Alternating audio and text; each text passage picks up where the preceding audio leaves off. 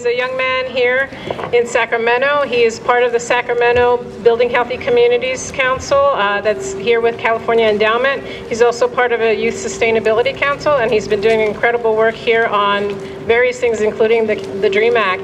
I want to invite him up. In addition to doing just powerful political work, he's also doing powerful cultural uh, work as well. He does spoken word, and he's going to be one of our concluding uh, presenters here. So please give him your love.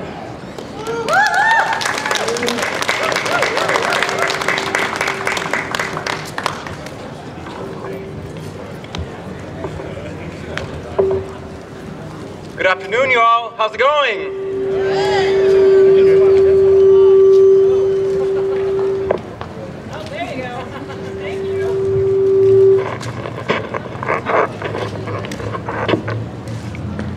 I'd just like to make a shout out to everybody that's here. Thank you for being here. My name is Irvis Orozco. I am a student at UC Davis, majoring in International Relations and Community and Regional Development. I'm going to talk a little bit about my struggles of going through higher education and getting there. Just to share with you all, I'm an undocumented student. I was brought to this country when I was about seven months old, and this is the only place that I've known as a home. I'm going to go ahead and start with a poem. It takes more courage to reveal insecurities than to hide them, more strength to relate to people than to dominate them, more manhood to abide by thought out principle rather than blind reflex. What I have learned is that toughness is found in the heart and soul, not in an immature mind or brute muscles.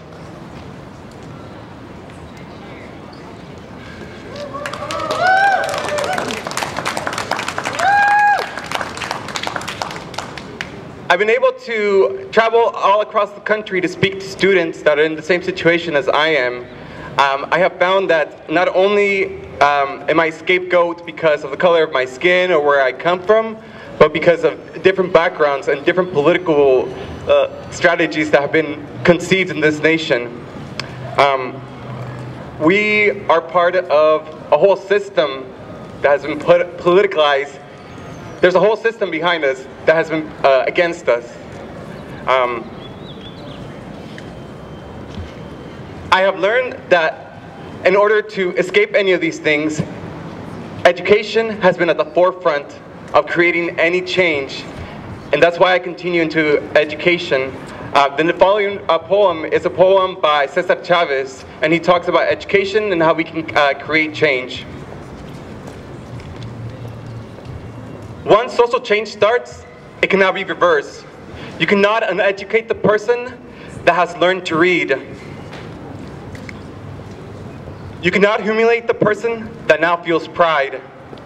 You cannot oppress the people who are not afraid anymore. We have seen the future, and the future is ours.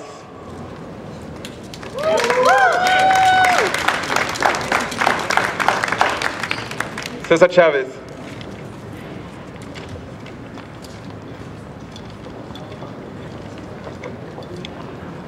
The next one is a poem that I wrote about how I was feeling um, a few months back about um, not being able to finish school on time just because of these uh, oppressions that are coming up.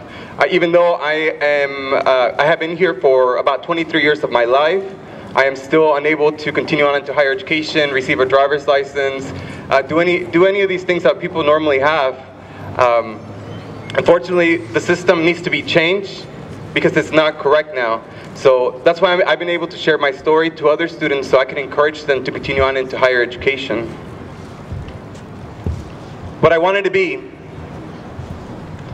As I entered high school, I wanted to be a police officer or detective. But because, uh, because I wanted to help out my community. But because I had no papers, I had to quit that dream. As I entered the thoughts of going to college, this thought came out because I wanted to help represent my community. I wanted to become a probation officer because I believed that I could help out the young thugs in my community. My dreams were shattered because I had no papers. As I entered college, I saw myself becoming an FBI agent to help those in my community and to help the representation of my heritage in a distinct position and to become a role model to other students. My dreams were shattered because I got pulled over without a driver's license and now I have a record. As I veered into my college years, I became an activist, joining different political causes to help diverse communities, including being part of the Black Student Union. I marched, gave speeches, and organized many events to help my community. I felt that this was needed to be done because I had no papers. I felt the hardships of my community and decided to give these people a voice. In my last few years of school, I, had, I have had to work to pay for my tuition, oftentimes working in the fields, which my mom brought, brought us. Uh, she came here as an undocumented worker to work in the fields. She took me out of school at age 13, but I decided to ask her that I wanted to continue on into education. I was accepted to UCLA, Berkeley, as well as UC Davis, Unfortunately, I, uh, my number one schools, I didn't get to decide where I wanted to go, but I still uh, have continued into my senior year at UC Davis. During this time, I've had to take two-hour commutes to UC Davis from my home here in Sacramento. At times, having to couch surf from friends, friends to other friends' homes. But I do not give up. I learned that being active in student movements would help me in reconciling that I have the strength within myself and I'm able to mentor others starting in this movement. I do, I do this because I have no papers, but I do have a voice. What I have learned is that with dedication, dreams, community building, and serving as a role model and educator, I'm the person that represents the essence of community building. I'm a dream act activist, student leader, and I do this because I have no papers. In the near future, I want to show all these students that higher education can be attained. In the next year or so, I want to apply either into law school or medical school. And I, I see that as something that we as students should pursue, and students of color should definitely pursue.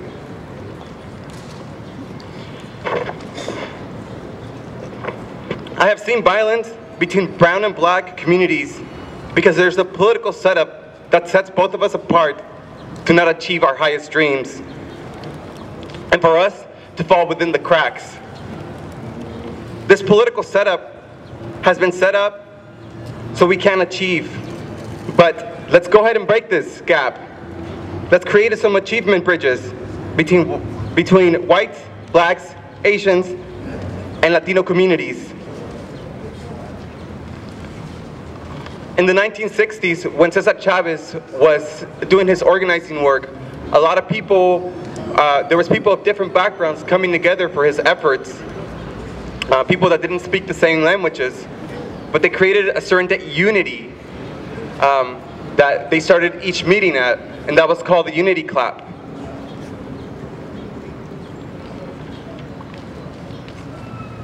I'm asking you all who's standing here to join me in a second in the Unity Clap.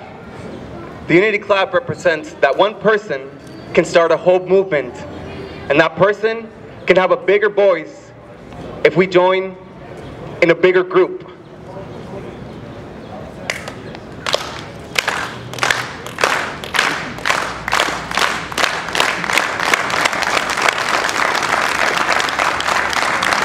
Educación, sí se puede. Education, yes we can.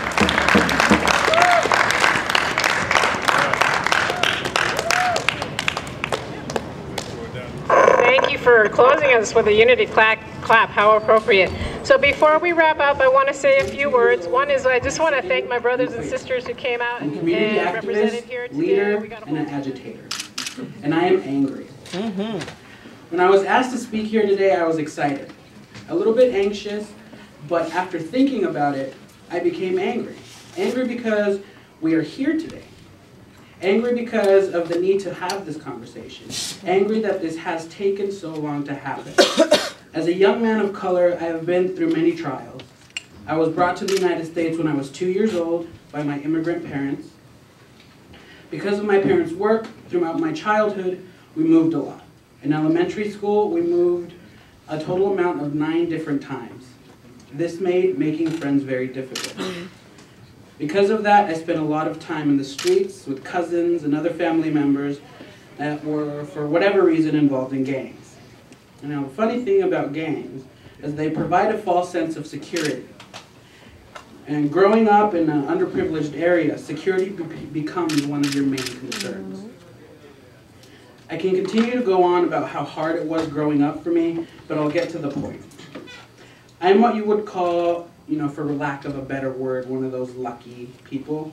My freshman year in high school, while hanging out with the familia, there was a drive-by shooting where I lost one of my closest friends. I was lucky enough to have the support uh, to help me get through the loss, uh, both at my high school uh, and through some of my family members, to get back on the right track, help me graduate, and to help me get to where I am today. But not everybody is as lucky as me to have that support. Not everybody knows who to go to for help or where uh, help can be provided for them. I would like to take this time to thank this committee for having this very important conversation. This work is long overdue, so I'm glad I'm gonna start. getting done. with a poem. It takes more courage to reveal insecurities than to hide them, more strength to relate to people than to dominate them, more manhood to abide by thought-out principle rather than blind reflex. What I have learned is that toughness is found in the heart and soul, not in the mature mind or group muscles. My name is Irvis Orozco. I am a student at UC Davis, majoring in international relations, my emphasis in economics. Um, I am an undocumented student. I was brought to this country when I was seven months old, and I am still an undocumented student. I still remember when we were singing the Pledge of Allegiance in second grade, and how proud I felt to be able to stand in front of the flag, and realize that I had just learned a whole new language, and I was integrated into this country. At the age of 13 years old, my mom had taken me out of school to work out in the fields with her. My mother came here to work out in the fields of the San Joaquin Valley. I worked for about three months and I had asked my mom to let me go back to school as long as I did, I did well. That same year, I got to go on a trip to UC Berkeley where I got some mentoring from a program that gets people, students of color, into UC Berkeley. They told me that as long as I got good grades, was involved in my community, and represented everything about my culture that was positive, that I would be able to succeed. Uh, my freshman year, I was involved with the California Center for Youth and Civic Participation, where I got chosen to be a student, um, uh, got chosen between 25 students throughout the whole state that did uh, health and policy recommendations. It felt so awesome. This is almost my 10th year of doing advocacy work and speaking on behalf of legislators on issues that are of concern. Through this program, I got to understand that I have a voice as a youth. Even though I'm not allowed to vote in this country, I have been doing positive things. I, it hurts to, to know that while I was in high school, a lot of the same students that were friends with me had a lot of problems at home. Um, whether it be a single home, gangs, violence. These kids were being opted out out of, out of school and into the prison system instead of education.